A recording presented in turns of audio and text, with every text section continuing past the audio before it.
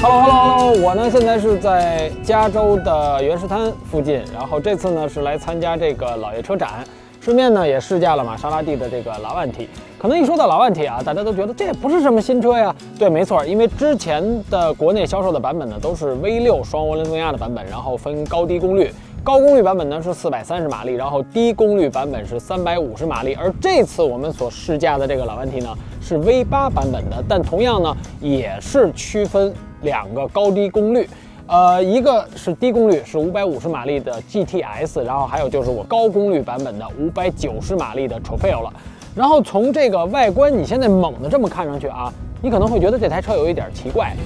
为什么？因为它的车身非常非常的低。对吗？等一会儿我告诉你为什么。我呢先跟大家来说一下啊，就是这个 V 八版本的，尤其是我们这回试驾的这个 Trofeo 版本的老万体，它跟普通之前我们看到的这些老万体有哪些外观上的区别？首先呢，就是这个 Trofeo 的版本的这个引擎盖，你会看到这儿有两个进气孔，看上去呢会更加的性能范儿。前杠下方包围的区域，你也会显得更加的战斗，更加的运动。然后在这个位置呢，还有一个碳纤维的下唇边。然后大灯呢，在这个 Trofeo 上也是标配的 LED 的矩阵大灯。然后车身侧面呢，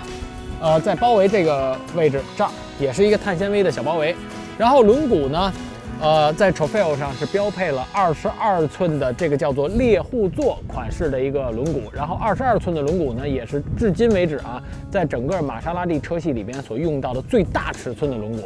C 柱上离近看的话，你会看到一个。Trofeo 的一个标识，这也是跟普通版本，包括 GTS 版本的这个老万迪不同的一个小的细节。然后车尾呢，你可以看到一个碳纤维的下唇边，然后还有一个四出的排气，而且四出的排气呢也是做成了这种亚光黑的一个风格。所以如果你这样看上去，会感觉很性能范儿的这么一个视觉效果。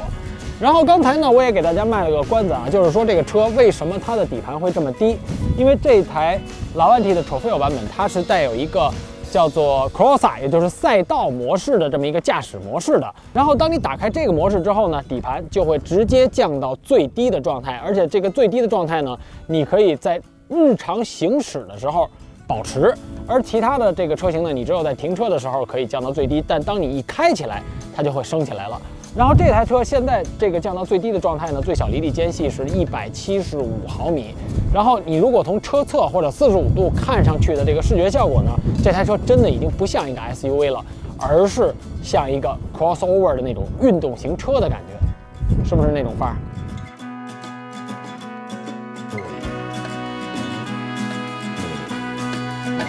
坐到车内啊，这个主要的。内饰的布局我就不细说了，因为它跟普通版本的这个老万体其实是没有区别的，主要是在一些细节上不同。那比如说在头枕上，这个 Trofeo 版本它会有一个 Trofeo 的这个徽章，就像 C 柱上那个徽章是一样的。然后呃，在你着车的时候，仪表上也会显示 Trofeo，然后在地毯上也会有 Trofeo 的一个 logo。配置方面啊，这台车也直接就是最顶配了。那你比如说呃，非常多的主动安全配置，还有像是这个宝华的音响等等等等。然后这台车呢，它在中国还是首发限量八十八台的这么一个车型，然后这个 Launch Edition 版本呢，你可以在这儿去定制你的车主的姓名，它还支持八种车身颜色的定制。那这八种颜色呢是这个 Trofeo 车型的专属颜色，但如果再包括上普通拉万体车型的这个七种的可选颜色呢，那理论上这个 Trofeo 车型你就有十五种车身颜色可以去选择，然后卡钳的颜色呢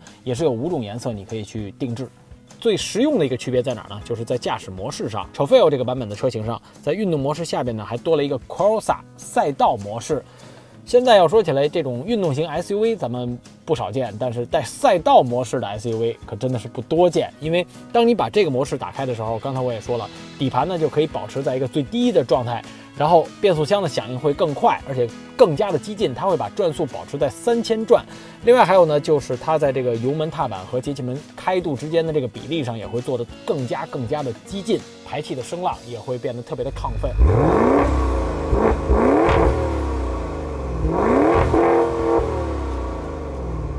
就是说，当你把这个模式打开的时候，你真的不觉得它是一个 SUV，它会让你感觉特别的精神分裂。而且呢，这台车在呃你打开 Crossa 模式的时候，它还支持弹射起步。那在这种情况下，它的零到一百公里每小时的加速时间呢，可以做到三点九秒。呃，另外还有一个最关键的一点啊，就是关于它的这台 V8 的发动机了。这台 t r o f e o 版本，它的最大输出功率是五百九十马力，最大扭矩呢七百三十牛米。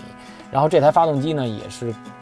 玛莎拉蒂跟这个法拉利联合研发的这么一台发动机，而且它的制造工厂就是在法拉利的马拉内罗工厂去被制造出来的，然后装配在这台车上。而且我后来看了一下数据啊，就这台发动机，它理论上应该算是现在所有玛莎拉蒂在产的车型里面最强大的一款发动机了，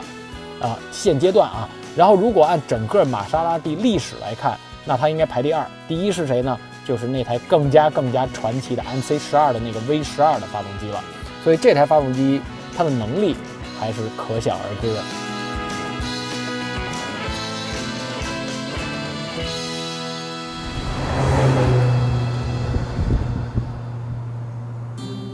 还有就是在行驶起来的极速方面啊，因为这个是更高性能版本的车型嘛。那像这个 t r o f e o 版本的车型，它的最高时速可以达到三百零四公里每小时，而那台 V8 的 GTS 车型呢，它的最高极速是可以达到两百九十二公里每小时。然后关于这个车身外边的包围或者说是空气动力学套件上这一点点小的区别啊，就是让这台 t r o f e o 版本的它的空气动力学，也就是风阻系数。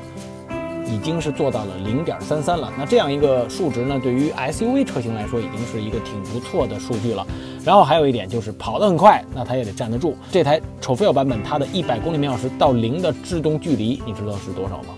是三十四点五米，你受得了吗？这个制动距离真的是很不错。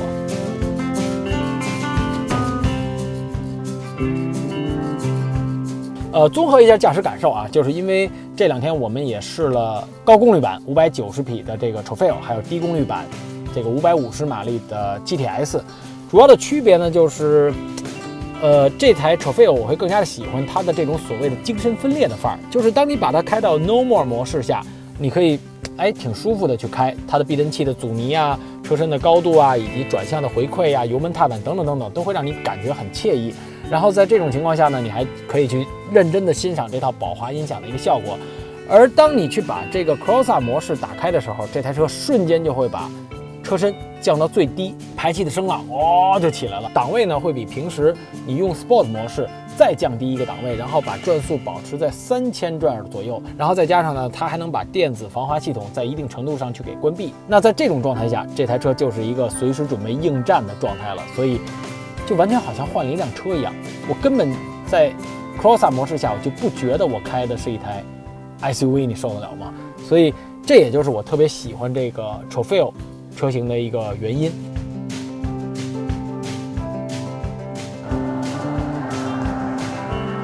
呃，然后再说到这个老万体的竞争车型上啊。呃，其实从 3.0T 那个版本就已经很明确了，对标的就是卡宴同级别的车型。然后到了这个 V8 版本，又是双涡轮增压的，那不用说了，它的 GTS 对标的就是卡宴的 Turbo 了。而这台 t r o f e o 呢，它对标的应该最精准的应该是卡宴的 Turbo S 这款车，但现款的卡宴 Turbo S 呢还没有上市。它最吸引人的有两点，第一呢就是它这个玛莎拉蒂的大嘴，然后第二呢就是这个，看见了吗？非常漂亮的无框的车门。而这台 t r o f e o 版本呢，又更加更加的有一个强大的动力系统，更漂亮的包围，然后更加运动的一个驾驶模式，等等等等。所以我觉得这台车，对于那些呃又追求品牌又追求范儿又追求驾驶的这种怎么说质感和参与感的人来说，应该是个不错的选择。反正还是那句话啊。呃，这个车你还是得去亲自的开一下它，去感受一下这两种精神分裂的驾驶状态之后，才有助于你去做出一个准确的选择。